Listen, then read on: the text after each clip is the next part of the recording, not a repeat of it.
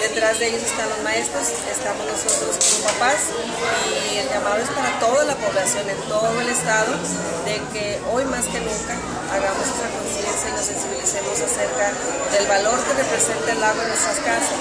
Hablábamos ahorita de que en las mañanas cuando nos levantamos y abrimos la llave, a veces no nos preocupamos que nos vaya a faltar, pero puede darse en alguna situación, estamos exentos problemática que ya hemos pasado y no queremos llegar a esa situación. Nuestro compromiso es dar algo 24 horas con lo que tenemos, pero también que la gente nos ayude, nos ayude mucho a cuidarla y conservarla.